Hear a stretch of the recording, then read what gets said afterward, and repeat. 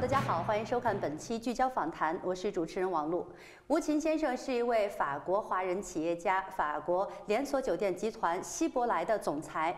二零二零年的春天，一场突如其来的新冠疫情让世人不知所以。他将自己从二零二零年三月三号到二零二零年五月十二号的所见所闻所感记录下来，生动地展现了和疫情抗争的七十个日日夜夜。本期聚焦访谈，我们非常有幸邀请到了吴琴先生，希望他能给我们的读者和我们今天的观众展示一个深度融入法国主流社会的华人成功企业家他视角下的抗疫故事和其中的酸甜苦辣。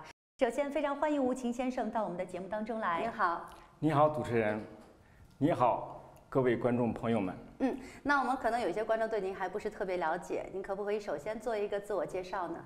可以的，我叫吴琴，一九八一年毕业于西安交通大学电机系，然后我考上了出国研究生，嗯，国家把我派到法国攻读博士，四年以后呢，我如期拿到了博士学位，决定留在法国继续我的那个创业生涯。嗯，刚开始是就业，完了以后再创业，现在呢，就是我在法国已经大概三十七个。年头对吧？哎，三十七年了已经，呃，非常多，就是我人生的一半基本上在法国度过的。我现在呢有十五家酒店，在巴黎的市区和郊区，是巴黎经济型最大的一个酒店集团，就是法国人都没有我这么大。我只是巴黎那个市区，我们有一百五十个员工，酒店呢是一到三星，共有八百个套房。一天我们能接纳差不多近两千人，如果人每一天按每一天，如果人就是在正常情况下，哎，对。所以像您这样的规模，一天都要接待两千个住客的话，这次新冠疫情对您的酒店影响会不会相当大呢？那是灾难性的，整个旅游行业都是灾难性的。这个客人吧，一夜之间就全没了，所有的订单全部取消。员工都傻眼了，对吧？呃，都找我我说怎么办？那时候呢，我每天看电视、听新闻，看国家有什么政策，对吧？呃，完了以后，我们就是等于度日如年。那时候就是今天都不知道明天要干什么。嗯嗯。那您酒店在这个时期突然没有客人了，说明之前住到您酒店里面的大多数还是游客居多，对吧？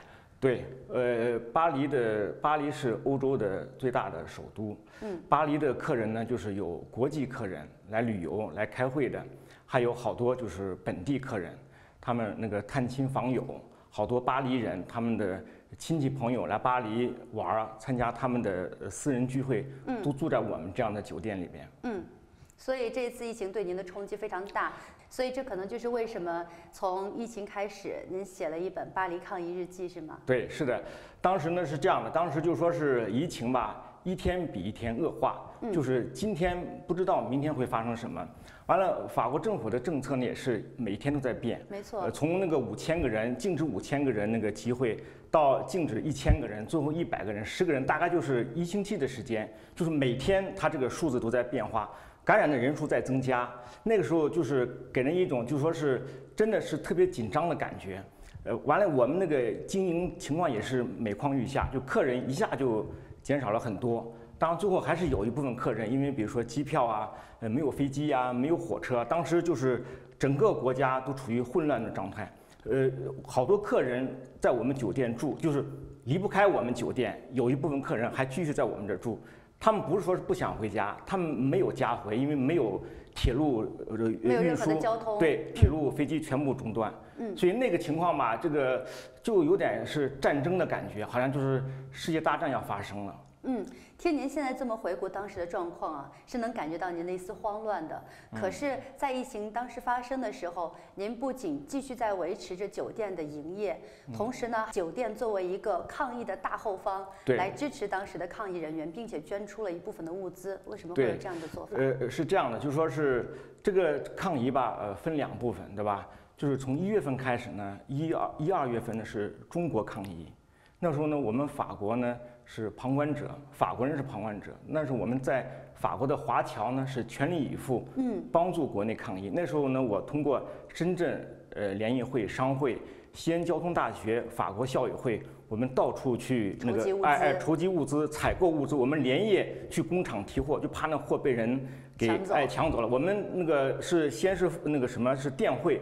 我们不是已经就说是开支票啊，什么呃都都已经来不及了，我们就电先把钱打过去，嗯先把钱打过去，完了以后再去提货。当时我们那个也是日日夜夜，但是呢当时也是一场战争啊，也是一场战争，但是呢，我们认为我们是在帮助中国抗疫。我们那时候大家都，呃，这是所有中国人在法国都经历都有这样的经历，对嗯，是这样都有这样的经历。我们那时候全力以赴，呃，帮助中国抗疫，但是呢，从来没想到这个疫情会发生到法国。那么呢，完了以后呢，再又重新再次投入到法国的抗疫斗争中。这个抗疫斗争是如此之长，如此之惨烈，如此之壮烈，我超过我的想象。我当时三月份从来没想到有这么长、这么大的规模，付出了这么多代价的这个抗疫。当时抗议是有一些医护人员住在您的酒店里面，是的，当时是这样的，当时就说是我们那个酒店行业的工会，我是工会的那个呃会员，而且是主要会员。呃，工会那个主席呢，就给我们所有的酒店发了个那个电子邮件，说你们谁愿意把你们酒店献出来给当地的医护人员？我是第一时间马上就反应了，我还没征求我那些中层管理，就是那些经理的意见，那些员工他们是不是同意我都不知道。我先说我肯定没问题，我愿意。好了，那么那个呃那个主席就给我回了个电子邮件，向我表示感谢，还写着我的名字，对吧？完了以后呢，呃，我呢就呃经过各个经理，我们每个酒店都有个经理，我跟征求他们意见以后呢，我呢给了六个酒店，就是可以那个给献给医护人员，让他们来那个住宿。嗯，我认为就是主要是靠近巴黎有，就是那几个主要的医院，我那有几个六个旅馆吧，挨着巴黎有六个大医院。大的医院，哎，大的医院，我把那些靠近大医院的旅馆全部捐献给那个医护人员，哎医护人员对对，嗯是是是，哎，呃，有医护人员居住在酒店，就说明酒店需要正常的运转。那需要运转就需要工作人员。对。您刚才提到有一些经理他是持保留意见，但是有没有当时的员工是非常激烈的表示反对？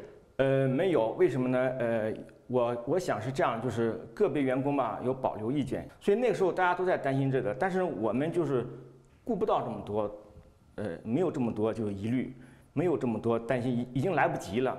我们把那个酒店献给医护人员，不光医护人员，还有那个警察，嗯因为全国各地、全法国各地的警察都支援巴黎，巴黎是重灾区，嗯，法国三分之一的人口在巴黎这么小的一个地方，对吧？所以呢，好多外省的警察来也住在我们这儿，呃，还有呢，呃，各个级别的那个什么，就是国家公务员，所以在您酒店工作的其实大部分都是法国的员工，都是本地员工，哎，的大部分都是法籍，都是法籍嗯，他们的那个那个什么，呃，就是，呃，原祖国呢有有阿拉伯人，有中国人，有很多法国人，什么样的人都有。嗯，但是从他们的表现可以看出，其实他对您的决定，包括对整个酒店是非常的支持的。对，所以您跟员工的关系，其实我觉得跟其他酒店啊 CEO 跟自己员工的关系好像不太一样。我听说您经常会去酒店看望他们，对是，吧？是这样的，在疫情期间呢，我每天都出门。嗯，当时我的家人呢对我表示担心，说你呃能不能在家待着，不要出去，因为我一旦被感染，可能就把病毒带回家了。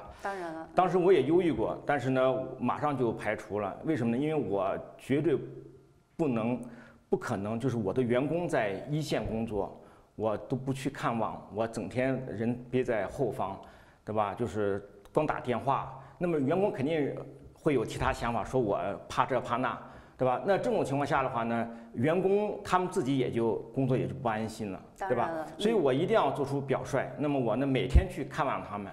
而且我跟他们，你看照片上拍了很多照片，对吧对？我有看到照片上的话呢，我跟他们拍照的时候呢，也是作为历史留念。我我们拍照的时候离得很近，就是说那时候就是已经那时候大家想不到了，已经是不是我你感染我，我感染你，已经根本就不想那个问题。那时候见面非常高兴，为什么？因为那个时候在那种状况下对他们是很大哎的鼓舞，非常的鼓舞，非常的震撼。完了，他们有时候看着我，就是有点那个眼泪汪汪的感觉，有那种感觉，就是大家好像哎呦，哎呀，他们说，哎呦，老板来看望他们了，他们感到特别激动。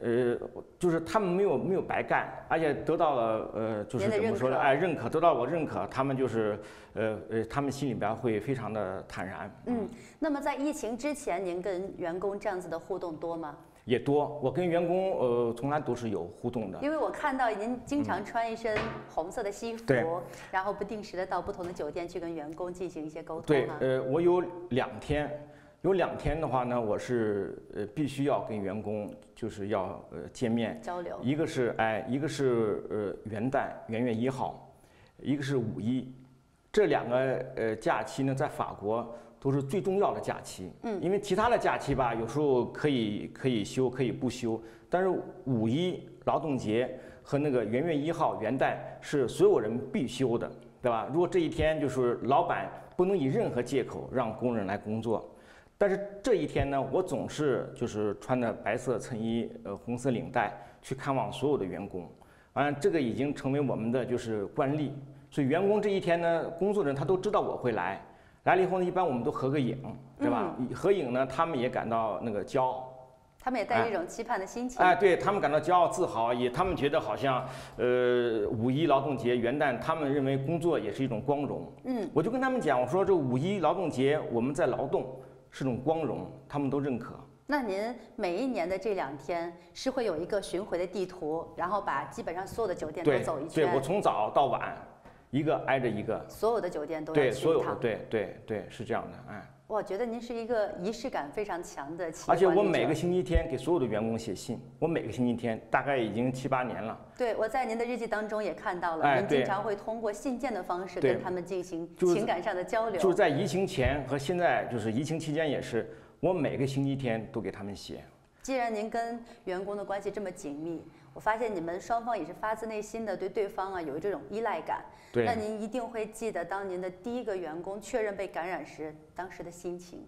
对，当时嗯，我呢是这样的，我认为这个员工呃肯定就说是早晚要被感染，因为这我觉得是大概率事件。那么呢，因为我们这么多人在工作，对吧？我们在一线，我们面对着很多客人，对吧？呃，我们当时法国没有说戴口罩是必须的，嗯，哎，当时只说是要勤洗手，保持一定距离而已，呃，好多安检措施是不存在。当时就基本上，呃，尤其在那个呃呃那什么居家隔离的初期，就三四月份的时候，那时候基本上就没口罩，嗯，法国没有口罩，对吧？所以他们也不戴口罩。那么我就认为他们中间肯定有人被感染，是大概率的事。所以的话呢，只不过就说是第一个啊，是他。对吧？哎呀，怎么怎么能是他呢？我记得是我那个一个那个巴黎北站酒店的一个值班经理，哎，这个值班经理我在的我这个呃日记里面经常提到他，他是我的一个劳动模范，这个人就是爱将之一。呃，对，是的，是的，他从来不请病假。跟我干了十几年，据他讲，他在法国工作了二十五年，从来没有请过病假，嗯，身体还特别壮。哎，我说怎么是他呢？我说这个东西不是好人有好报吗？这怎么怎么怎么让他得了？我当时就感到特别的沮丧。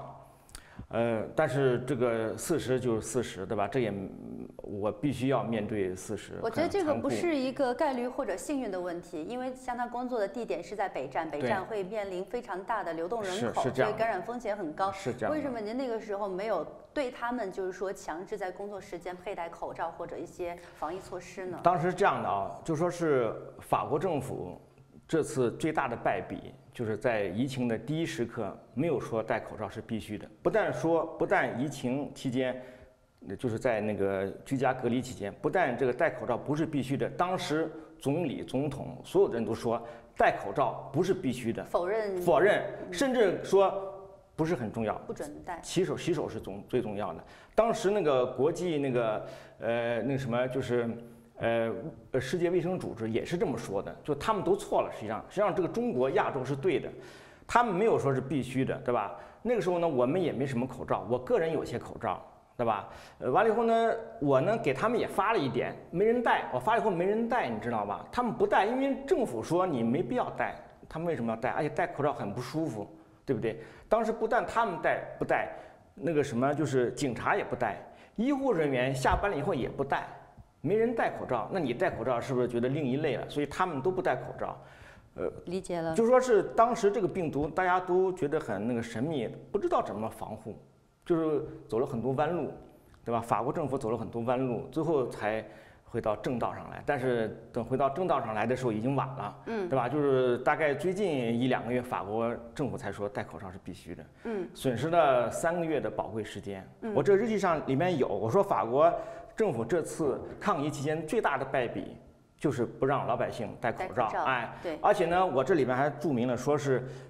这需要很多生命，会有很多人会失去宝贵的生命。我这里边都讲了，嗯，我在四月份的时候就讲了，那么的确是如此。我们有理由相信，在这次疫情当中，非常多的法国人因为政府不戴口罩的言论，用他们的生命去买了单，或者用他们的健康去买了单。那也正是因为这样，所以在疫情发生到现在啊，民众已经开始对政府的公信力有所质疑了。对，因为这些错误的决策，您的经历肯定不是唯一的一位，肯定有很多像他这样的例子。对我们那个员工，我算了一下，我们员工有百分之八。被感染，对吧？百分之八。对，百分之八的话是保守估计，可能呃还有更多的百分之十。有些潜在的。因为有很多人是没有症状，无症状者。我比如说一个酒店啊，几乎我敢肯定，这酒店里边所有人都被感染了。因为从经理到值班经理到一些员工都被感染了。那么剩下的员工呢，我估计也被感染了，只不过他们可能是无症，这是最严重的一个。其他的酒店几乎每个酒店都有人被感染，对吧？我们的感染率是百分之八，超过了巴黎的医护人员是百分之四。我这日记里面还解释了为什么我们的感染率要超过巴黎的医护人员，等于就是我们付出的代价比医护人员还要高，就这个意思。那在这种情况下，您没有有序的组织您所有的员工去进行核酸检测，来确定他们是否被感染吗？是这样的，就是说这个核酸检测呢，是呃那个最近才就是大批量检测，嗯嗯，在那个居家隔离的时候呢，就他们就是有病就是有症状的人，他们就已经去检测了，而且有的住院了。我们有三个呃员工住院是重症，有一个是 ICU 黑安尼玛逊，对吧？呃，这三个员工呢，都我我最后他们的故事我都写在那个抗疫日记后续里边，我我觉得非常的悲壮。我觉得非常的悲壮。我觉得就是说是我跟他们谈话以后呢，我都感到就是我都感觉到身临其境啊，我都特别受感动。那么呢，在当时这种情况下的话呢，就说是我们呢只能就说过一天算一天。就是你你说现在回头看，为什么没有没有干这？为什么没有干那？那实际上法国政府的失误远远大于我本人的失误。对吧？法国政府呃失误是致命的，他一开始就说是口罩没有必须的，而且好多议员、好多市长还提出来了，应该向中国学习，应该向呃韩国、日本学习，你应该戴口罩。好多市长，比如说尼斯市的市长、巴黎市的市长，但是呢，法国政府就是一意孤行，他就觉得好像呃没必要。呃，现在有的人说他们好像是为了掩盖其没有口罩的这个。呃，尴尬的这个局面，没有没有口罩，那你也不能骗老百姓，对吧？我觉得，呃，什么原因都有，反正不管怎么说，法国政府这次抗疫中间，它有很多失误。没错，嗯，很多失误。那么，对于这种突发的空前的公共卫生危机来说，上到国家，下到像您这样的企业，包括个人，其实没有一个人有非常完备的，或者说有有非常充足的经验去应对。那不管是国家还是企业，在这个当中可能都会走一些弯路。对。那虽然您的员工有被感染的，但是非常万幸的，到现在为止，基本上被感染的也都是痊愈回来了，对对，没有那个失去生命，这是我最担心的。最担最担心的时候呢，我三个员工在医院里边，我说如果按概率算的话，那三个里边可能会有一个去世。当时我就感到心情特别不好。嗯。我说谁去世呢？三个人我都觉得难舍难分，最后三个人都那个痊愈出院。啊，对我来说这是最大的欣慰。我最大的欣慰，这次抗疫期间，就是我的所有的员工都那个什么安然无恙，都现在都活得很好。跟您谈话，我感觉其实您是一个挺乐观的人。虽然现状非常的不乐观，但是您是非常理智的去分析现状，包括数字。对，这是我与生俱来的吧。嗯嗯嗯。我觉得创业者都应该乐观，否则怎么创业啊？你创业的过程中有很多艰难险阻，你要不乐观的话，你就没法前进了。那我相信有一些经历，如果没有真实经历过，是没有办法感同身受的。比如说您的员工，当他们感染，您非常的担心、忧虑，但是当他们恢复了之后，跟您第一次见面，您当时的心情还记得吗？啊，那特别高兴，因为这样的，他们在那个呃感染期间呢，我也经常打电话，有的时候他们在医院，有时候他们接，有时候不接。我记得很清楚，经常我打电话的时候他们不接，他们不接电话的时候呢，我总有种不祥的预兆，因为他不接电话，是不是昏过去啦？是不是还在？都是有个问题，这个这个这个脑子里边就有这方面那个就是哎哎担忧不那个不祥之兆。哎，最后一听，哎听经理或者其他同事说还还在，很好。哎，那我马上就心里边特别高兴。完了，他们出院以后呢，我见他们的时候呢，呃，他们跟我一样很高兴，因为他们也见到我以后，他们也认为可能好多时间，他们也认为可能以后见不到我了，因为他们住院的人啊都是再生。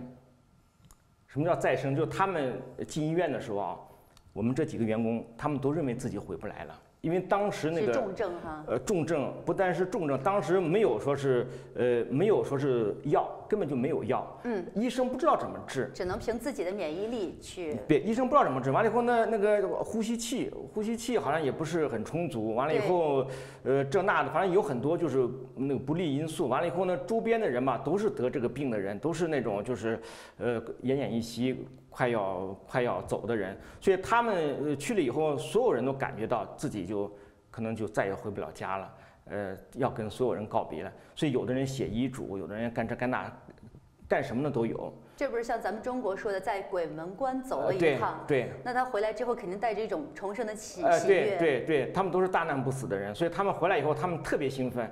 他们说话的时候，呃，就是像小孩一样的，特别高兴。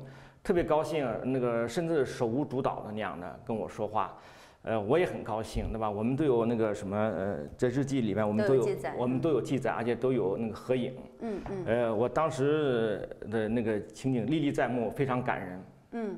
那么现在您的酒店是大概什么状况？因为现在其实，在法国第二波疫情正在爆发的时期，对，依然面临着没有游客，巴黎整个对外的交通啊是都不是非常方便的情况下，您酒店现在现状怎样？现在这样，现在我酒店呢可以说是勉强维持，因为我们是那个经济型酒店。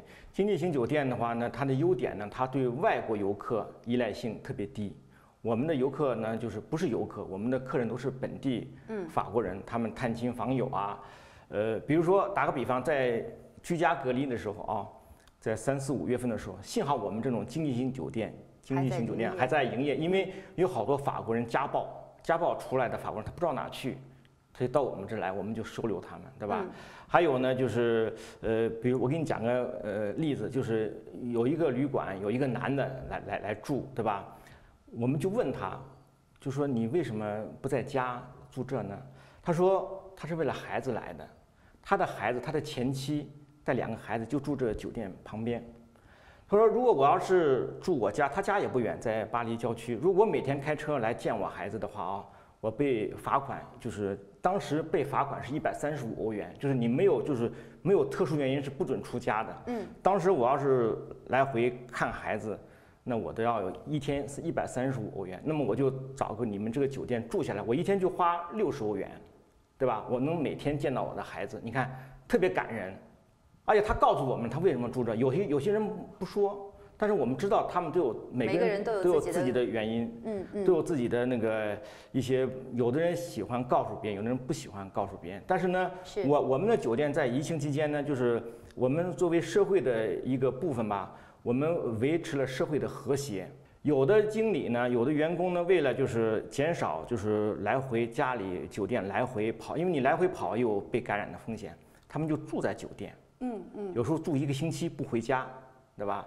我觉得跟医生还有这些呃战斗在一线的工作人员不同的是。其实酒店的工作人员也是真正奋战在一线，在维持着在疫情期间社会正常运转的。可能平时大家没有关注到他们，但是又确确实实的在保持这个社会秩序的。对，我认为他们跟那个医护人员一样伟大，平凡而伟大的人。对对，一样的。嗯嗯。那么在您的日记当中，我注意到在三月二十六号的时候，您说过这次的疫情呢是一个黑天鹅事件。对。你也非常相信，在这次疫情之后，法国会以更加崭新的姿态，不但能够。对抗疫情将会有更加好的发展。那当时您这么说的时候是三月二十六号，一转眼半年过去了。那现在您依然对法国在疫后的经济或者说社会现状有这样的期待吗？是，我觉得这个呃，这次疫情呢，对法国政府呢，呃，我觉得是一个怎怎么说是一个强心剂。我觉得让法国政府认识到了，就是他不改革不行了，因为法国必须要改革，对吧？他有好多政策已经就是非常那个应对不了有一些突发应事件应对不了现在的事件。所以呢，比如说劳工法，比如说它的各种福利，比如说它这个三十五小时工作制，现在都重新提到议事日程上来了。嗯。现在他们呢，就是法国现在，比如说，比如说现在政府拼命在减税，为什么拼命在减税？它不是给富人。呃，让让你们富人赚的钱更多，他不是，他是让你就是把生产力提上去，让老百姓就业，让法国经济发展。他是出于法国经济发展在减税，所以就是因为疫情它减税了，对吧？减税以后呢，法国经济就会发展。因为法国以前税太重，法国是世界税最高的一个国家，嗯，这个税呢严重妨碍了它的生产力的发展。那么现在这个好了，这个屏障没了。对吧？这就是一大的改革。另外还有好多改革呢，比如说现在法国现在发现，呃，美国靠不住，对吧？也呃，一定要呃建设欧盟。所以现在法国在欧洲国家呢是那个地位哎地位地位呃稳固，而且法国现在就是在欧盟呢是唱主角，对吧？就是你能观察到法国各个方面在变化。这个任何一个危机啊，实际上都是一个历史的转折点。比如说呃科技，对吧？现在大家都觉得科技就是。变得现在越来越数字化了，现在可以那个家庭办公、远程办公，这个以前都是不可能的，对吧？现在呢，就是呃数字化、人工智能，因为你现在远程办公，你现在好多方面就是尽量避免人呃接触，避免人人员去，对吧？到现场，那么就有人工智能就起到很大的作用，那么它也是社会科技的进步。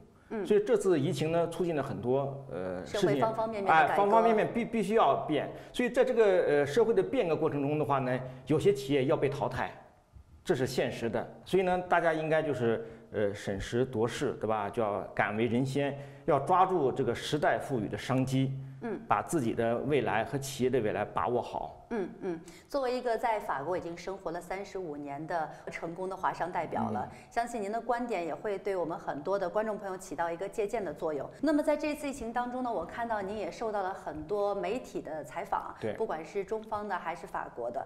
但是在这次疫情当中，其实不是所有的法国媒体对于中国所现在的这个姿态或者态度是非常友好的。嗯，相信您在被接受采访的时候，应该也碰到过类似的问题吧？是这样的，我呢。首先，我被法国主流媒体采访，比如说那个《巴黎人报》容纳了巴黎见，对吧？还有那个法国电视一台，呃，还有那个 BFM 那个 TV，对吧？还有 C News，呃，我呢是代表我们这个行业酒店餐饮协会工会，我是作为他们的一个代表。呃，法国媒体啊，呃，对中国呃政府是不是是不很友好，对吧？这个是肯定的。但是呢，你你发现没有，法国媒体对美国也不友好，甚至对美国批评的更多。你看，每天都是批评特朗普的，特朗普没有一次正面报道，每天都是负面报道，所有媒体一负面报道。呃，中国领导人没有这样，对不对？所以的话呢，法国媒体吧，怎么说呢？媒体呢有它自己的呃性质，它首先它是一个实体，它是个经济实体，它要报道那些呃人们爱听的。那么，所以有的时候呢，媒体为什么会推波助澜、兴风作浪？因为他要报道那些就是甚至骇人听闻的消息，对吧？这是他的一个弱点。但是他的优点呢，就是媒体呢，就是报道了好多、揭露了好多社会的各个方面，对吧？哎，甚至呃社会的丑陋。那么媒体呢是这样的，你看法国媒体吧，对政府也是很批评的。他法国政府批评，美国政府批评，他为什么就不能批评中国政府呢？所以我们要客观的看这个问题，我觉得没什么，嗯，没什么，对吧？我们关键的问题是把自己的事做好，嗯，完了以后呢，在呃每个中国人都把自己在法国的事做好，每个中国人的企业都把自己的企业变成那个标杆企业。那那人家对我们的看法肯定有改变。嗯，你觉得法国的媒体本来就是一个很具备批判性这样一个性质的对对媒体形式。对，因为我这日记里面讲了，有一次电视一台呃中午采访我说是当天晚上马克龙要有一个新的规定，对吧？问我有什么感想？跟那个记者呢，我就说我很感激这个我们的政府，对吧？对我们企业真是帮助了很多。嗯，我说了很多那个感谢的话啊，感谢的话。完了，那个记者就说：“好，那我们一会儿跟你联系。”他再没跟我联系。完了，我知道为什么了，因为我呢，呃，电话里边呢，我表达了太多的感恩、感谢之情歌颂政府了，我不能歌颂政府。那么这次疫情对您个人呢，又有什么样的启示？呃，对我的话呢，我觉得这次疫情呢，我觉得我呢，现在回头看这个问题啊，我觉得我的意志经受了考验，因为我我觉得当时我没有怕，现在有的时候我想一想，哎呦，当时我还不错嘛，当时我没有怕，我没有后退。我觉得我的意志精神呃接受了考验，就是不愧为一个创业者，给自己点赞。呃，对，就不愧为一个创业者。那么，那么呢，我呢，就是我通过这次疫情呢，发现了自己的意志，首先对自己的意志精神和状态比较满意。我觉得我凭我现在这个状态的话呢，我觉得以后我什么可能都不怕了。那么最后呢，就像吴琴先生在他自己的日记里面分享的一样，这次的疫情呢是一个黑天鹅事件，但是呢，在居家隔离这段时间，我们每一个人都有更多的时间能够真正的审视自己和自己的生活和自己相处。那么在解禁之后呢，我们还会各自发展，各闯南北，每一个人的生活都会改变。那么相信每一个人，如果在以后碰到困难的时候，能够审时度势。果毅力行，敢为人先，才能成为新冠疫情之后人生的赢家。是这样的。嗯，那非常感谢吴琴先生，也希望大家能够从不同的途径去关注吴琴先生的巴黎抗疫日记。但是我们还是非常期待您有后续的作品跟我们见面。啊，是是的，是这样的。那好的，谢谢您。谢谢主持人。嗯，谢谢观众朋友们。嗯。